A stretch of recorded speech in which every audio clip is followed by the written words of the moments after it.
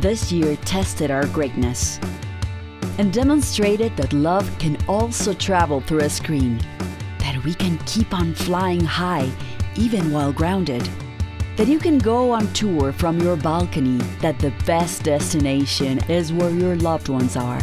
Seeing you return home, voyaging through your favorite places, and accompanying you to travel far are enough reasons to keep connecting you with the world for another 100 years. Today, we're celebrating 101 years flying with Latinos like you.